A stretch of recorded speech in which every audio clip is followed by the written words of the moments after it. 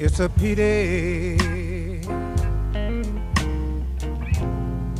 Low down and dirty shit.